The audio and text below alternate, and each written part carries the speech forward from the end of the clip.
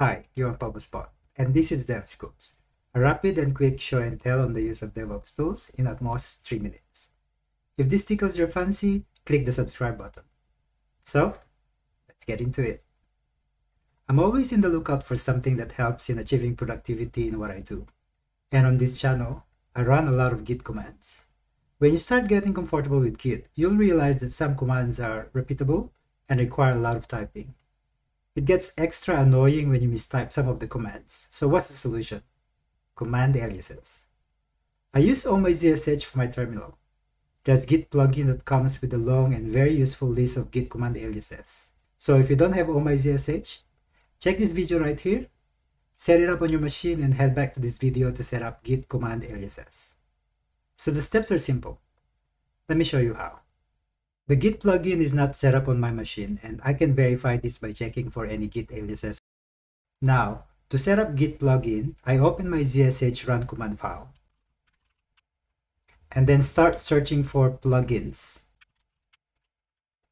This line in here gives me a list of all plugins that are enabled on OhmyZSH.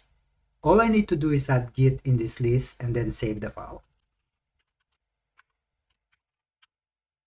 Then I need to source my zsh run command file for my changes to take effect. Now, if I check the aliases for git commands again, I get a long list of git aliases that I can use.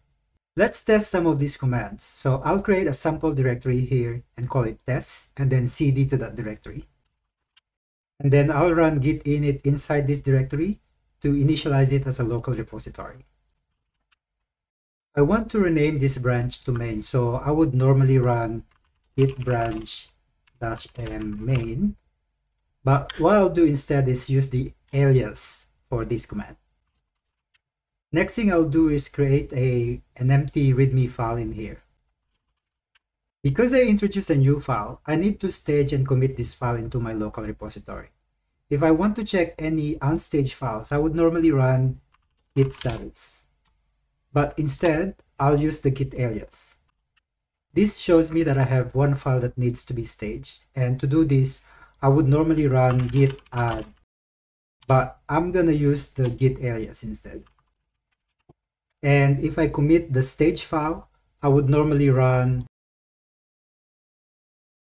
but I'll use the git alias and run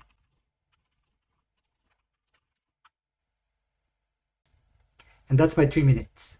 Don't forget to click the subscribe button. Until next time, stay safe.